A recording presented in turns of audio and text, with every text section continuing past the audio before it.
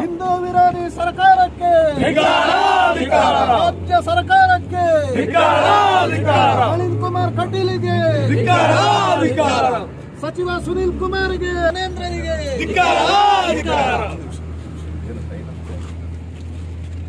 ನಮಸ್ಕಾರ. ಏನಿಲ್ಲ. ನೀವು ಪೊಲೀಸ್ ಗಾಡಿಯಲ್ಲೇ ನಾವು ಒಂದು ಇಬ್ಬರು ಮೂರು ಜನ ಬರ್ತೀವಿ.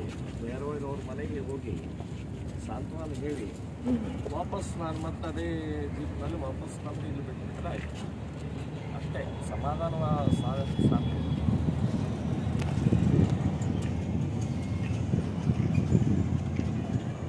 ಅಲ್ಲ, ಸ್ವಲ್ಪ ನನಗೆ ಒಂದು ಅವಕಾಶ ಮಾನವೀಯತೆ ಹಿನ್ನೆಲೆಯಲ್ಲಿ ನಿಮ್ದು ಅವಕಾಶ ಮಾಡಿಕೊಡಿ ಅಷ್ಟೇ. ಆ,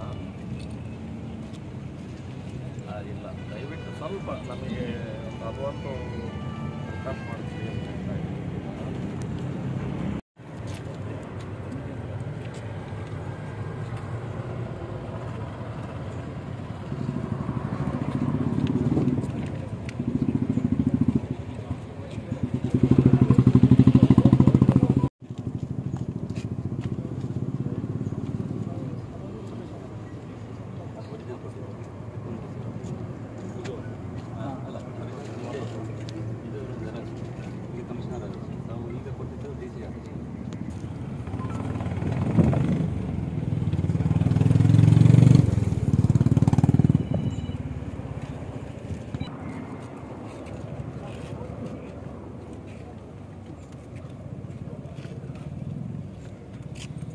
ನನ್ನೊಂದು ಪ್ರಶ್ನೆ ಇದೆ ಪ್ರಮೋದ್ ಮುತಾಲಿಕ್ ಅವರೇ.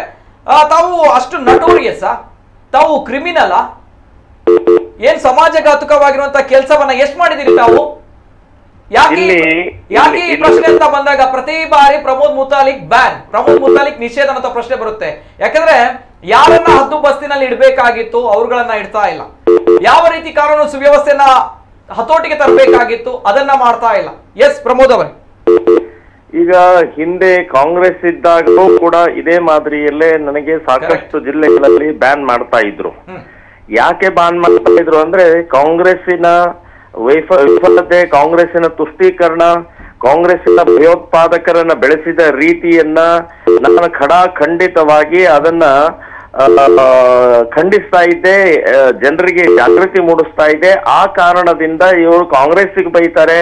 ಕಾಂಗ್ರೆಸ್ ಅನ್ನ ಹಿಗ್ಗಾಮುಗ್ಗಾ ಬೈತಾರೆ, ಕಾಂಗ್ರೆಸ್ ಅನ್ನು ಬಟ್ಟ ಬಯಲ ಮಾಡ್ತಾರೆ ಅಂತನ್ನುವಂತ ದೃಷ್ಟಿಕೋನದಿಂದ, ಆ ಕಾಂಗ್ರೆಸ್ನವರು ನನಗೆ ಬ್ಯಾನ್ ಮಾಡ್ತಾ ಇದ್ರು ಮತ್ತು ಆ ಕಡೆ ಒಂದು ಕಡೆಗೆ ಮುಸ್ಲಿಮರನ್ನ ಪ್ಲೀಸ್ ಮಾಡೋದು ಸಲುವಾಗಿ ನಾವು ಹಿಂದೂ ಹಿಂದೂ ನಾಯಕರನ್ನ ಯಾಕೆ ತಡಿತಾ ಇದೀವಿ ನೋಡಿ ಅಂತ ಹೇಳಿ ಇವತ್ತು ಮುಸ್ಲಿಮರಿಗೆ ಪ್ಲೀಸ್ ಮಾಡೋ ಸಲುವಾಗಿ ಕಾಂಗ್ರೆಸ್ನವರು ಬ್ಯಾನ್ ಮಾಡ್ತಾ ಇದ್ರು.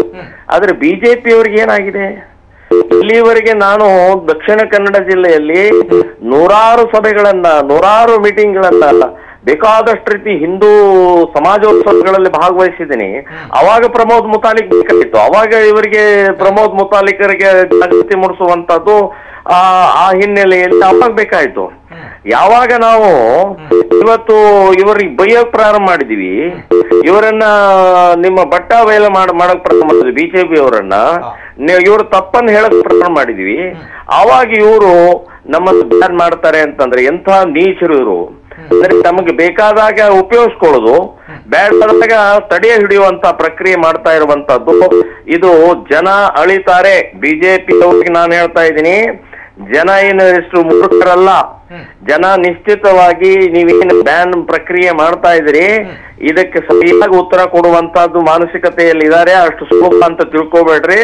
ಇವತ್ತು ನಾನು ಬೈದೇ ಇದ್ರು ಕೂಡ ನಾನು ಬರ್ದೇ ಇದ್ರು ಕೂಡ ಈ ಆಕ್ರೋಶ ಈ ಸಂದೇಶ ನಿಶ್ಚಿತವಾಗಿ ಮನೆ ಮನೆಯಲ್ಲಿ ದಕ್ಷಿಣ ಕನ್ನಡ ಜಿಲ್ಲೆಯಲ್ಲಿ ಮನೆ ಮನೆಯಲ್ಲಿ ಹೋಗುತ್ತೆ. ನಾನೇನೋ ಬಾಂಬು ಬಂದೂಕು ತಲವಾರ್ ತಗೊಂಡು ಹೋಗ್ತಾ ಇಲ್ಲ.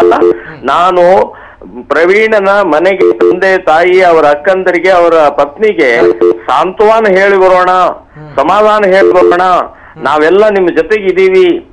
ನಿಮಗೆ ನಿಮ್ಮ ನಿಮ್ಮ ನಿಮಗೆ ನಿಮ್ಮ ನೋವಿನಲ್ಲಿ ನಾವು ಇದ್ದೀವಿ ಅಂತ ಹೇಳುವಂತದ ಅಷ್ಟಕ್ಕೂ ಕೂಡ ಹಾಗಾದ್ರೆ ಸ್ವಾತಂತ್ರ್ಯ ಇಲ್ವಾ? ಅಷ್ಟಕ್ಕೂ ಕೂಡ ಸಂವಿಧಾನದ ಡಾಕ್ಟರ್ ಅಂಬೇಡ್ಕರ್ ನಮ್ಗೆ ಸ್ವಾತಂತ್ರ್ಯ ಕೊಟ್ಟಿಲ್ವಾ ಹಾಗಾದ್ರೆ ಸೊ ಅಂತ ಸ್ವಾತಂತ್ರ್ಯ ಹರಣರು ಇವರು. ಇವರು ಡಾಕ್ಟರ್ ಅಂಬೇಡ್ಕರ್ ವಿರೋಧಿಗಳು ಇವರು ಬಿಜೆಪಿಯವರು ಅಂತ ಅನ್ನುವಂಥದ್ದು ನಾನು ಹೇಳ್ತಾ ಇದ್ದೀನಿ. ನೇರ ನೇರವಾಗಿ ನಾನು ಈ ಪ್ರಶ್ನೆಯನ್ನ ಕೇಳ್ತಾ ಇದ್ದೇನೆ. ಶಿವಮೊಗ್ಗದಲ್ಲಿ ಬಜರಂಗದಳ ಕಾರ್ಯಕರ್ತ ಹರ್ಷ ಅವರ ಹತ್ಯೆ ಆಗುತ್ತೆ. ಆ ಹತ್ಯೆ ಪ್ರಕರಣ ಇನ್ನೇನು ತನಿಖಾ ಹಂತದಲ್ಲಿ ಇದೆ ಅಂತ ಬಂದಾಗ ಕರಾವಳಿ ಭಾಗದಲ್ಲಿ ಮತ್ತೊಂದು ಹೆಣ ಉಳಿದಿದೆ ಸರ್. ಕೋಮು ಸಂಘರ್ಷದ ಕಿಚ್ಚಿಗೆ ಹಿಂದೂ ಕಾರ್ಯಕರ್ತನ ನೆತ್ತರು ಹರಿದಿದೆ. First reaction sir Pramod Muthalik ಅವರು. ನೋಡಿ ಈ ಈ ಹತ್ಯೆ ಇಡೀ ರಾಜ್ಯ ಅಷ್ಟೇ ಅಲ್ಲ ಇಡೀ ದೇಶದಲ್ಲಿ ಒಂದು ದೊಡ್ಡ ಹಲ್ಚಲ ಮೂಡಿಸಿದೆ. ಒಂದು ಬಿಜೆಪಿ ಅವರಿಗೆ. ಮುಖಕ್ಕೆ ಹೊಡೆದಾಗೆ ನಿಮ್ಮ ಫೇಲ್ಯೂರ್ ನಿಮ್ಮ ವಿಫಲತೆ ನಿಮ್ಮ ದೌರ್ಬಲ್ಯ ಇದೆ. ನೀವು ಅಧಿಕಾರ ದಾಹಿಗಳಿದ್ದೀರಿ.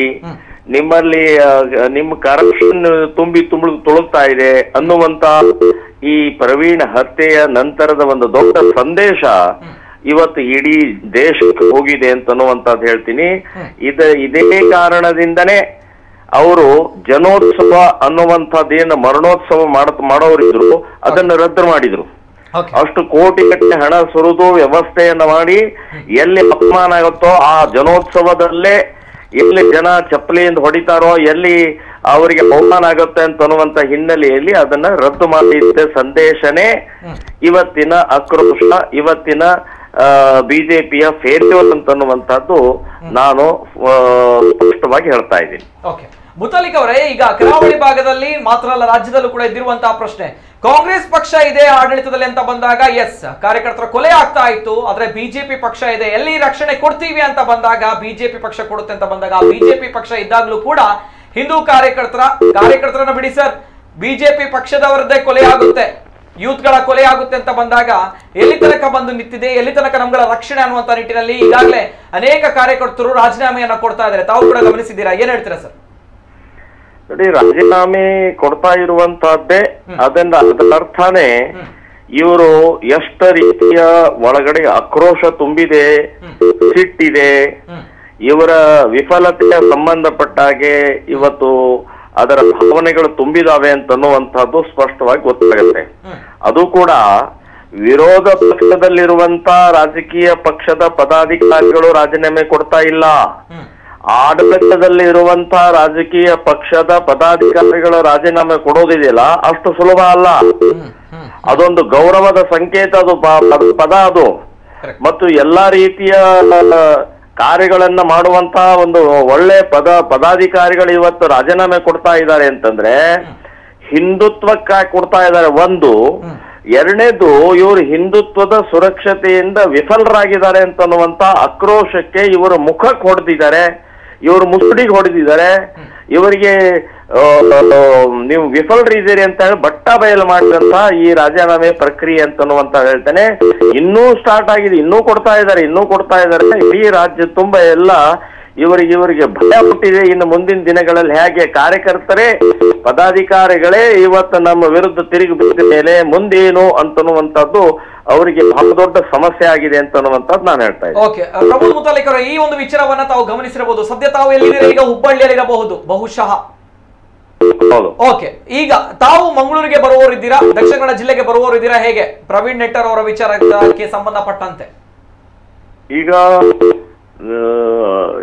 ಭೇಟಿಗೆ ಬರ್ಬೇಕು ಅಂತ ನಿಶ್ಚಯ ಮಾಡಿದ್ದೀನಿ. ಆದ್ರೆ ಅದು ಈಗಾಗಲೇ ಕೆಲವೊಂದು ಅದಕ್ಕೋಸ್ಕರ ನಾನು ಕೇಳಿರುವಂತದ್ದು ತಮ್ಮನ್ನ ದಕ್ಷಿಣ ಕನ್ನಡ ಜಿಲ್ಲೆಗೆ ಬರುವಂತದ್ದನ್ನ ಬ್ಯಾನ್ ಮಾಡಿದ್ದಾರೆ. ತಮ್ಮನ್ನ ತಮಗೆ ನಿಷೇಧವನ್ನ ಹೇರಿದ್ದಾರೆ. ದಕ್ಷಿಣ ಕನ್ನಡ ಜಿಲ್ಲೆಗೆ ತಾವುಗಳು ಬರುವಾಗಿಲ್ಲ. ಪ್ರಮೋದ್ ಮುತಾಲಿಕ್ ಬ್ಯಾನ್ ಮಾಡಿದ್ದಾರೆ. ಏನ್ ಹೌದು. ಈಗ ನಿಮ್ಮ ನಿಮ್ಮ ವಾಹಿನಿಗಳ ಮೂಲಕನೇ ನನಗೆ ವಿಷಯ ಗೊತ್ತಾಗಿದೆ. ಇನ್ನೂ ಅಧಿಕೃತವಾದಂತ ನೋಟಿಸು ನನಗೆ ಕೊಟ್ಟಿಲ್ಲ. ಆದ್ರೆ ನಾನು ಭೇಟಿಗೆ ಬರೋದು ಅಂತನ್ನುವಂತದ್ದು ವಿಚಾರವನ್ನ ಮಾಡಿದ್ದೀನಿ ನಾನು. ಓಕೆ ಭೇಟಿಗೆ ಬರ್ತೀರಾ ಹಾಗಾದ್ರೆ ಇಲ್ಲಿಗೆ? ಹೌದು. ಓಕೆ ಪ್ರಮೋದ್ ಅವರೇ ಕೊನೆಯದಾಗಿ ಈ ಒಂದು ಮಾತು ಮುತಾಲಿಕ್ ಅವರೇ. ಈ ಸಾಲು ಸಾಲು ಹತ್ಯೆಗಳು ರಾಜಕೀಯ ಮರ್ಡರ್ಗೋಸ್ಕರ ಅಥವಾ ರಾಜಕೀಯ ಚುನಾವಣೆಗೋಸ್ಕರ ಈ ಸಂದರ್ಭಗಳಲ್ಲಿ ನಡೀತಾ ಇರುವಂತ ಕರಾವಳಿ ಭಾಗ ಸ್ವಲ್ಪ ಪ್ರತಿ ಬಾರಿ ಚುನಾವಣೆ ಬರುತ್ತೆ ಅಂತ ಬಂದಾಗ ಭಯ ಪಡ್ತಾರೆ. ಯಾಕಂತ ಬಂದಾಗ ಇಲ್ಲಿ ಕೆಲವು ಹೆಣಗಳು ಬೀಳುತ್ತೆ ಅನ್ನೋದು ತಮ್ಗೆ ಗೊತ್ತಿದೆ. ಚುನಾವಣಾ ರಾಜಕೀಯಕ್ಕಾಗಿ ಅನೇಕ ಹೆಣಗಳು ಉರುಳಿದೆ ಕೂಡ ಹೌದು. ಯಾವಾಗ ಕೊನೆ ಸರ್ ಇದಕ್ಕೆ? ನೋಡಿ ಈ ನಾನೊಂದು ಎರಡು ಮೂರು ತಿಂಗಳ ಹಿಂದೆ ಪೊಳಲಿ ಅನಂತು ಅವ್ರ ಮನೆಗೆ ಹೋಗಿದ್ದೆ. ಪೊಳಲಿ ಅನಂತು ಅವ್ರ ಕೊಲೆ ಕೂಡ ಬಹಳ ಹಿಂದೆ ಆಗಿತ್ತು. ಅವ್ರ ಮನೆಗೆ ಹೋಗ ಹೋದಾಗ ಅಲ್ಲೊಬ್ಬ ಜೈಲ್ನಲ್ಲಿ ಇದ್ದುಕೊಂಡು ಹೊರಗಡೆ ಬಂದಂತ ಒಬ್ಬ ಹಿಂದೂ ಕಾರ್ಯಕರ್ತ. ಅವ್ರ ಮನೆಯೊಳಗೆ ಕೂತ್ಕೊಂಡು ನನಗೆ ಹೇಳಿದ್ ಇವತ್ತಿಗೂ ನೆನಪಿದೆ. ಮುತಾಲಿಕರೇ ಚುನಾವಣೆ ಹತ್ರ ಬಂತು. ನಾವು ಸೇಫ್ಟಿ ಆಗಿರ್ಬೇಕು. ಯಾವತ್ತು ಈ ಬಿಜೆಪಿಯವರು ನಮ್ಮನ್ನ ಯಾವ ರೀತಿ ಹಿನ್ನೆಲೆಯಲ್ಲಿ ಏನೇನು ಕೊಲೆ ಕೊಲೆಗೆ ಸಂಚು ಮಾಡ್ತಾರೋ ಅಂತ ಅನ್ನೋದು ಹೇಳಕ್ಕಾಗಲ್ಲ. ತಮ್ಮ ರಾಜಕೀಯದ ಒಂದು ಆಡಳಿತಕ್ಕೋಸ್ಕರ ಲಾಭಕ್ಕೋಸ್ಕರ ಇವರು ಇವ್ರು ಕೊಲೆ ಮಾಡಕ್ಕೂ ಹೆಸುದಿಲ್ಲ ಅಂತ ಅನ್ನುವಂತಹದ್ದನ್ನ ಅವರು ಹೇಳಿದ್ದು ಇವತ್ತಿಗೂ ನೆನಪಿದೆ. ಹಾಗಾಗಿ ಈ ರೀತಿಯ ನಾನು ಹೇಳೋದು ಪ್ರವೀಣನ ಕೊಲೆ ಕೊನೆ ಅಲ್ಲ. ಇನ್ನೂ ಆಗತ್ತೆ. ಇದಕ್ಕೆ ಮೂರು ಕಾರಣ ಅಂತ ಹೇಳ್ತೀನಿ. ಒಂದು ಸರ್ಕಾರದ ವಿಫಲತೆ. ಎರಡನೇದು ಕಾನೂನಿನ ದುರ್ಬಲತೆ. ಮೂರನೇದು ಜಿಹಾದಿ ಮಾನಸಿಕತೆ. ಸೊ ಈ ಮೂರು ಕಾರಣದಿಂದ ಇವತ್ತು ಆಗ್ತಾ ಇರುವಂತ ಅನಾಹುತಗಳಿದೆಯಲ್ಲ. ಇದಕ್ಕೆ ಹಿಂದೂ ಸಮಾಜನೇ ಉತ್ತರ ಕೊಡ್ಬೇಕು. ಕಾನೂನು ಸಾಮಾನ್ಯ ಕೊಲೆ ಆದ್ರೂ ಕೂಡ ತ್ರೀ ನೋಟು ಇನ್ನು ಧರ್ಮದ ಮೇ ಧರ್ಮದ ಕುರಿತಾದಂತ ಕೊಲೆಗೂ ಕೂಡ ತ್ರೀ ನೋಟ್ ಟೂನೇ ಸೆಕ್ಷನ್ ಹಾಕ್ತಾರೆ ಇವರು. ಇನ್ನೇನು ಬೇರೆ ಏನಿಲ್ಲ. ಇವರು ಜಾಮೀನಿನಿಂದ ಜಾಮೀನಿಂದ ಹೊರಗೆ ಬರ್ತಾರೆ. ಆನಂದವಾಗಿ ಮತ್ತೆ ಓಡಾಡ್ತಾ ಇರ್ತಾರೆ. ಸೊ ಆಗ ಹಾಗಾಗಿ ಕಾನೂನಿನ ದೌರ್ಬಲ್ಯ ಇದೆ ಮತ್ತು ಸರ್ಕಾರದ ಬಿಗಿಯಾದಂತ ನಿಲುವು ಇಲ್ಲದ ಪರಿಣಾಮದಿಂದ ಮತ್ತು ಜಿಹಾದಿ ಮಾನಸಿಕತೆ ಎಲ್ಲಿವರೆಗೆ ಇರುತ್ತೋ ಅಲ್ಲಿವರೆಗೆ ಈ ರೀತಿ ನಿರಂತರವಾಗಿ ನಡೀತಾ ಇರುತ್ತೆ. ಇನ್ನೂ ಬಲಿಗೆ ಆಗ್ತಾ ಇರುತ್ತೆ ಅಂತ ಅನ್ನುವಂಥದ್ದು ನಾನು ಹೇಳ್ತೀನಿ. ಓಕೆ ಧನ್ಯವಾದಗಳು ಮುತಾಲಿಕ್ ಅವರೇ. ನಮ್ಮ. ವಾಹಿನಿ ಜೊತೆ ಮಾತನಾಡಿದ್ದಕ್ಕೆ ಧನ್ಯವಾದಗಳು.